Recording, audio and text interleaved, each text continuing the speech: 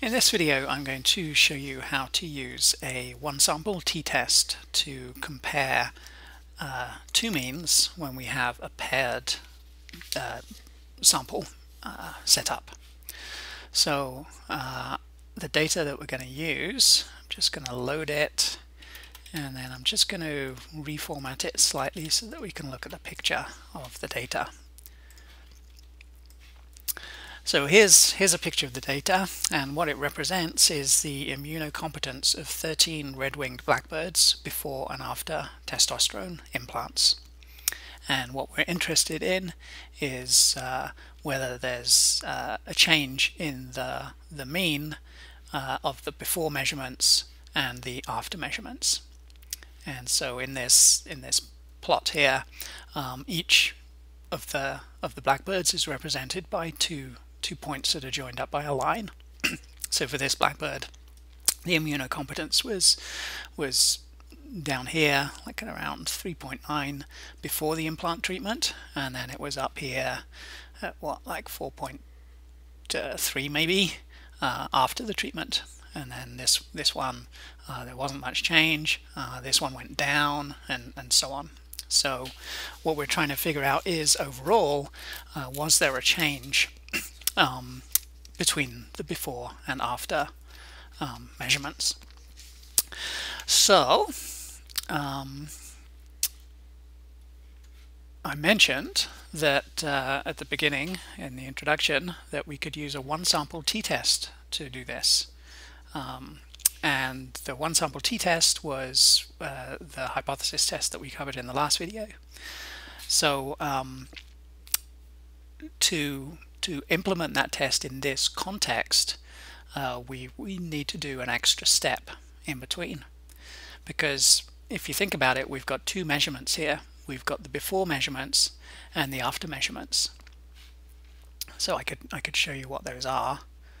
So uh, actually let's show the before measurements first. So here's the before measurements and here's the after measurements okay? And this this this is a paired setup because each of the two points corresponds to the same blackbird. Okay? In the next video we're gonna also look at uh, uh, an example where we've got two groups. Um, but in that case we're gonna have we're not gonna have a paired setup because the two groups represent independent samples um, but in this case, we have we have a paired data set up, and so you have to treat the two different situations differently. Uh, and it turns out that this setup, the paired setup, is very easy to treat because we can we can apply uh, the, the one sample t-test to analyze the differences. So to analyze those differences, we need to calculate the differences. So that's what I'm doing here is I'm creating a new variable d which represents the after measurement minus the before measurement. Okay, so for example, if I if I look at that variable, uh, we can see that it's um, after minus before. So 4.44 minus 4.65 comes to minus 0.21. So for Blackbird number one, uh, that was the difference, the after measurement minus the before measurement. And for Blackbird number 2, their after measurement was 4.3 and their before measurement was 3.91, so the difference is 0.39. Okay, so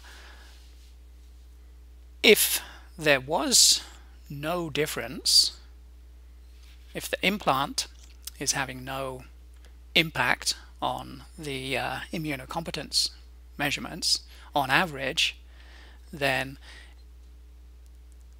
we would expect the mean of these differences to be zero. So that's going to be my um, null hypothesis. is that the population mean difference of the before measurements and the after measurements is zero. Okay, so we're doing a, a hypothesis test here, and uh, first step is to state the null and the alternative hypotheses. Null hypothesis in this case is that the uh, the difference, the the population mean difference, um, is zero. Um, so if if I put that in this particular context, uh, the mean change in antibody production after testosterone implants was zero. That's the null hypothesis. And the alternative hypothesis is that the mean change in antibody production after testosterone implants was not zero. So we're, doing a two-tail test here. Okay, so uh, let's figure out all the different pieces I need. So I'm doing this in a slightly different order to, to how I've done it in the in the tutorial here. Um, so I'm just going to calculate my sample statistics. Okay, and I'm, I'm calculating my sample statistics based on this new variable that I just created, representing the differences in the measurements, in the paired measurements. So I got my sample mean, my sample standard deviation, there's my sample size, got 13 blackbirds. Calculate my standard error as the sample standard deviation divided by the square root of n. Uh, the degrees of freedom is n minus 1, so 12. And then uh, my significance level for my test is going to be alpha of 0.05. Okay, so to calculate the, so uh, I'm on step two at the moment. I'm trying to figure out the test statistic. So this test statistic formula is given here. Sample mean minus null hypothesis mean divided by the standard error. So I can I can calculate that. My, my null hypothesis mean in this case is zero. Okay, and what do I get? I get 1.271409. And then I went through this in a, in a fair bit of detail in the last video, so I'm not going to dwell on it here, but this is the, the code that we need to enter to calculate the p-value, the two-tail p-value. So if I run that, I get a two-tail p-value of 0.2276739. Okay, so that's step three. And uh, step four is to make a decision, draw a conclusion.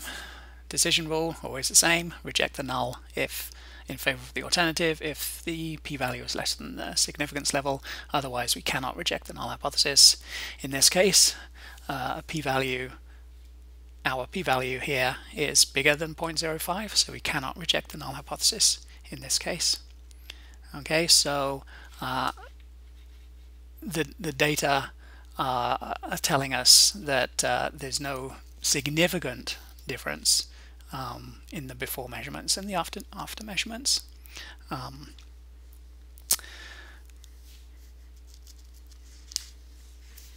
so so we're unable to reject the null hypothesis that the testosterone has no effect on immunocompetence.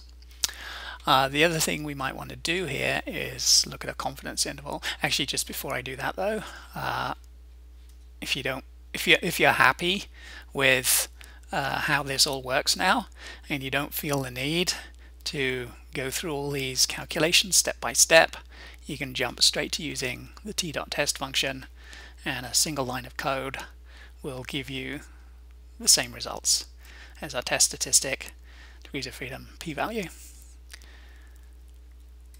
Um, we can also calculate a confidence interval here, um, which is which is often a good idea. And so again, we can we can calculate that by hand. Ooh, why am I getting different numbers there? I know, it's because I didn't calculate my critical value yet. Okay, so I'm using the critical value left over from the last video. So I, I better make sure I calculate the critical value before I do my calculations, and now I'm getting the same numbers. Okay, that's good. So we're 95% confident that the, the uh, population mean difference is between minus 0.04 and 0.15.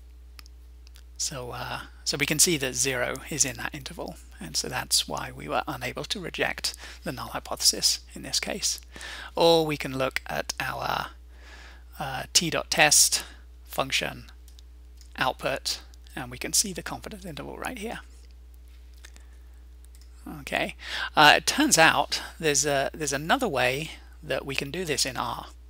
And remember, kind of at the beginning of this whole analysis, uh, we had to make a new variable which represented the after measurements minus the before measurements.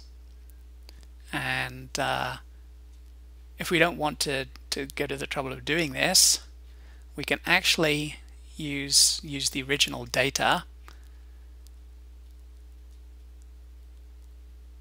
um, using this function here. Okay, so so again, it's the t.test function, uh, but the way we're using it is slightly differently.